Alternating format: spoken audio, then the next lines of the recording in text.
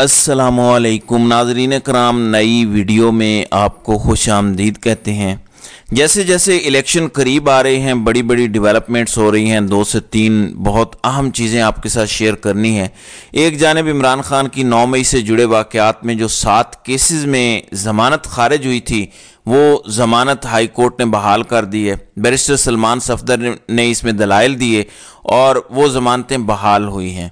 तो 9 मई से जुड़े केसेस में सात, जो कम अज़ कम केसेस हैं लाहौर हाई कोर्ट ने, वो ज़मानतें बहाल कर दी हैं।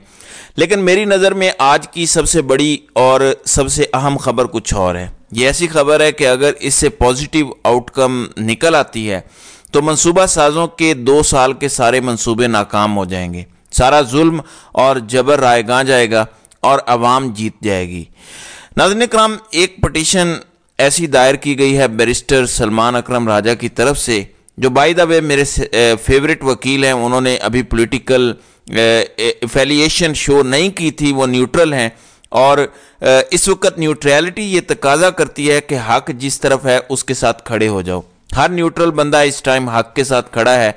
उन्होंने एक ज़बरदस्त पटिशन डाली है। लेकिन इससे पहले एक मीटिंग में उन्होंने क्या बातें की? ये शॉर्टकट सा एक क्लिप है, मैं आपको सुनाता हूँ, जिसके बाद आपको बेहतर समझ आएगी कि ये कितनी अहम पटिशन है, इसके कितने दूर रस नतज होंगे। और ये एक पटिशन हर किस्म के प्लान सी की ज़रूरत भी खत्म कर कर देगी और पीटीआई छा जाएगी। ये जरा सुने। वो पीटीआई का मेंबर है पीटीआई का उम्मीदवार है। मैं ये कहता हूँ कि वो मुंतखब होकर भी पीटीआई ही का उम्मीदवार रहेगा। उसकी हैसियत आज़ाद नहीं होगी। और इसके लिए हम अदालत में भी जाएँगे। अदालत से ही हम फैसला भी लेंगे।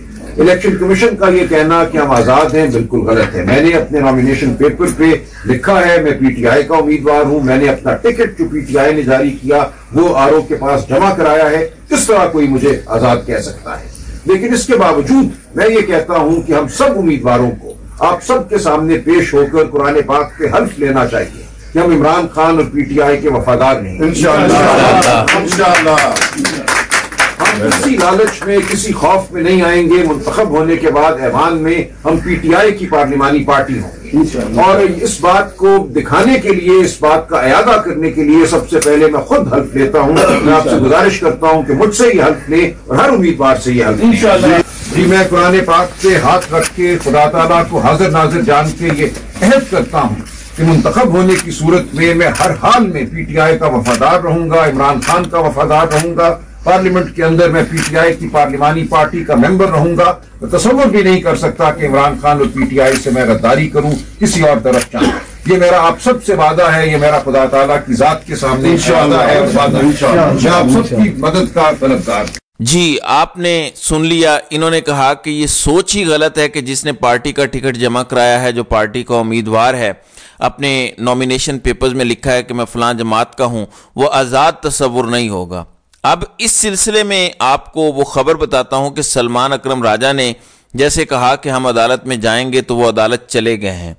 उन्होंने अदालत में ये दरख्वास्त दायर कर दी है कि मुझे आज़ाद उम्मीदवार मत कहा जाए, क्योंकि तहरीक इंसाफ का हिस्सा हूँ मैं। मैंने अपने नॉमिनेशन पेपर्स में अपने आप को पीटीआई का नुमाइंदा लिखा है पीटीआई का उम्मीदवार अपने आप को लिखा है। इस पटिशन का अगर तो पॉजिटिव फैसला आ जाता है तो जितने उम्मीदवार हैं, जिन्हें अभी मुख्तलिफ़ मुख्तलिफ़ इंतबी निशान दिए गए हैं, वो इलेक्शन के बाद एक जमात के अंडर, पीटीआई के अंडर, एक जमात की छतरी के अंडर अपनी हुकूमत बना सकेंगे। यानी किसी छोटी जमात से इलाहाक की ज़रूरत भी ख़त्म हो जाएगी, लोटा बनने के भी तमाम रस्ते बंद हो जाएँगे। क्योंकि अगर आप किसी एक पार्टी के उम्मीदवार हैं तो आप लोटा नहीं बाँध सकते। आपको इसकी इजाज़त ही नहीं है पाकिस्तान का आइन और फिर सुप्रीम कोर्ट का 2022 का फैसला आड़े आ जाएगा। इसलिए लोटा बनना भी नामुमकिन हो जाएगा। अब देखते हैं कि हाई कोर्ट इस मामले में क्या फैसला देती है। क्या कोई आज़ाद बेंच बनता है या कॉम्प्रोमाइज बेंच बनता है? क्योंकि मुख्तलिफ़ जजेस में भी फ़र्क है। हर कोर्ट में खा हाई कोर्ट हो, सुप्रीम कोर्ट हो, कुछ आज़ाद जजेस हैं, कुछ कॉम्प्रोमाइज जजेस हैं अब जैसे काजी का ग्रुप है, ये पूरा कॉम्प्रोमाइज ग्रुप है। लेकिन इनके मुखालिफ जो ग्रुप खड़ा है, वो सब आज़ाद जजेज़ हैं। एक एक आज़ाद जज है। इसी तरह हाई कोर्ट में भी यही मसला है। आमिर फारूक अगर कॉम्प्रोमाइज जज हैं तो उनके नीचे मोहसिन अख्तर क्यानी हैं, मियाँ गुल हसन औरंगज़ेब हैं। ये बड़े ज़बरदस्त जजेज़ हैं और इन्होंने बड़े ज़बरदस्त फैसले दिए हैं, आज़ादाना फैसले दिए हैं। ये आज़ाद जजेज़ हैं। इसी तरह लाहौर हाई कोर्ट के अंदर भी कॉम्प्रोमाइज जजेज़ भी हैं, आज़ाद जजेस भी हैं। पिशावर हाई कोर्ट के चीफ जस्टिस ने किस तरह से अपना कंडक्ट शो करके बताया कि वो वो एक आज़ाद इंसान है, वो कॉम्प्रोमाइज़ नहीं करेंगे, किसी के आगे झुकेंगे नहीं, किसी फिरौन से नहीं डरेंगे तो फ़र्क है।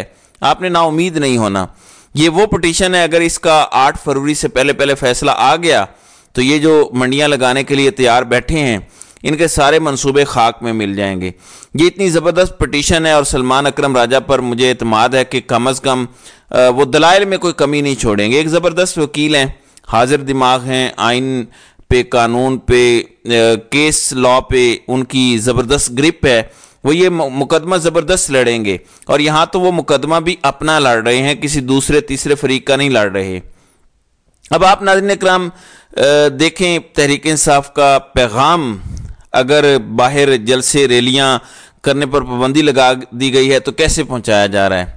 एक पख्तून खाक के शख्स की एक वीडियो आई है, जिसके अंदर वो गाड़ी के अंदर खड़े होके अपना पैगाम दे रहा है। और ये कबायली शख्स है और अपने दिल की बात वो बस के अंदर आके करता है। इसी तरह ट्रेनों में, बसों में, हर जगह पे बाज़ारों में, दुकानों में, रक्षों में टैक्सियों में हर जगह पे तहरीक इंसाफ की कंपेन चल रही है। इनको अंदाज़ा नहीं है कि कैसा इनकलाब आठ फरवरी को आने जा रहा है। मैं तो इनकी अकलों पे मातम ही कर सकता हूँ, जिन्होंने ये बेहतरीन मौका गंवाने के लिए अपना पूरा ज़ोर लगा दिया कि अगर तहरीक इंसाफ को बल्ले के निशान पर लड़ने दिया जाता, चारों सूबों में भी इनकी हुकूमत बनती। दो तिहाई क्या तीन चौथाई अक्सरियत होती असम्बली में। हर आइन में जो कमी कोताही रह गई है आइन में जो जितने लूप होल्स हैं वो सब ठीक किए जा सकते थे। अठारहवीं तरमीम की नोक पलक दुरुस्त करके जो जो पाकिस्तान के ख़िलाफ़ चीज़ें जा रही हैं, वो ठीक किया जा सकता था। पाकिस्तान के आइन और कानून को नए सिरे से बदला जा सकता था, खूबसूरत किया जा सकता था। उसमें गरीबों का तहफ़ होता और ताकतवर कानून के नीचे आ जाते। हर चीज़ ठीक की जा सकती थी। मुल्क तरक्की के रस्ते पे डाल सकता था। लेकिन इनको पता है कि जिस दिन मुल्क में आइन और कानून ठीक हो गया उस दिन ताकत से इनकी ग्रिप खत्म हो जाएगी। और ये अपनी ताकत कायम रखने के लिए पाकिस्तान को इस तरह से महकूम रखते हैं। जो भी बंदा कहता है कि तमाम इदारों को आइन और कानून के मुताबिक चलना चाहिए, उसे इसराइल और भारत का एजेंडा करार दिया जाता है। तो मेरा एक सवाल है, क्या इसराइल और भारत ये चाहते हैं कि पाकिस्तान के तमाम इदारे आइन और कानून के मुताबिक चलें? इनका इसमें क्या फ़ायदा है? फ़कत इस सवाल का मुझे कोई जवाब दे दें। नाजन कराम जावेद हाशमी ने इमरान खान की मुकम्मल हिमायत का ऐलान किया है। जावेद हाशमी वो हैं जिन्होंने 2014 के धरने के दौरान बीच मंझा, मंझधार इमरान खान को छोड़ दिया था। उसके बाद शाह महमूद कुरैशी ने अगले दिन कहा था कि बागी दागी हो गया। लेकिन वक्त के साथ साथ हालात बदले और आज ये सूरत हाल है कि जावेद हाशमी कहते हैं कि इमरान खान जब तक जेल से बाहर नहीं आते, मैं उनके हक में जंग लड़ूँगा। और जावेद हाशमी ने वाजे किया है कि वो एंटी स्टैब्लिशमेंट हैं। और इस वक्त इमरान खान के ऊपर जो जुल्म हो रहा है, वो जानते हैं कि वो कौन करवा रहा है। क्योंकि ये बात जेल में मुलाकात के दौरान इमरान खान ने भी किया लोगों से कि जावेद हाशमी क्योंकि खुद कैद में रह चुका है तो वो जानता है कि मुझ पर सब कुछ इस्टेब्लिशमेंट करवा रही है। तो जावेद हाशमी ने इस वक्त मुकम्मल इमरान खान की हिमायत का इंडिकेशन अनकंडीशनल ऐलान किया है। इमरान खान का कहना है कि हमें आईबी ने रिपोर्ट दी कि राजा रियाज और इस तरह के और बैंक बेंचर्स बैक बेंचर्स अमरीकी सफारत खाने में मुलाकातें कर रहे हैं।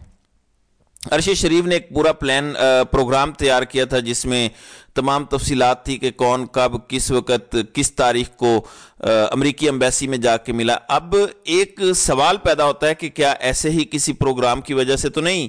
अरशद शरीफ पर सत्रह या पंद्रह मुकदमात का, कायम करके ज़मीन उनके लिए तंग की गई थी। इसका मतलब है कि अगर ये वीडियो थी तो कुछ और भी ऐसे प्रोग्राम होंगे जिनकी वजह से कुछ ताकतवरों की दुम पे पाँव आया हुआ था, जिसकी वजह से अरशद शरीफ के लिए ज़िंदगी मुश्किल बना दी गई। उनके लिए पाकिस्तान की ज़मीन तंग कर दी गई और बिलाखिर उनको शहीद किया गया। मैं आपको दो निशानियाँ बता देता हूँ। हकीकी आज़ादी आपको कब मिलेगी? कब पता चलेगा कि मिल गई है? अरशद शरीफ को पाकिस्तान का सबसे बड़ा बहादरी का एजाज़ जब मिलेगा, उस दिन आपको पता चलेगा आप हकीकी तौर पर आज़ाद हो गए हैं। और 9 मई पाकिस्तान में जमहूरियत का दिन मनाया जाएगा, सिविलियन वाला दस्ती का दिन मनाया जाएगा 9 मई को। जिस दिन ये हो गया, आप समझ जाइए कि आपको हकीकी आज़ादी मिल चुकी है। क्योंकि इसके बाद कोई पुलिस वाला ज़रूरत नहीं करेगा आपसे बदतमीजी करने की। आपसे रिश्वत नहीं कोई मांगेगा। कोई आपके हुकूक सलब नहीं कर पाएगा। अदालतें इंसाफ करेंगी। क्योंकि जिस दिन ये दो काम हो गए, और ये तभी होंगे जब ये पूरा निज़ाम गिर के नए सिरे से खूबसूरत निज़ाम खड़ा हो चुका होगा और हकीकी मानों में नया पाकिस्तान बन चुका होगा। तो नादिन कराम आपकी इस वीडियो के हवाले से क्या राय है? आप अपनी राय का इजहार कमेंट सेक्शन में ज़रूर कीजिएगा।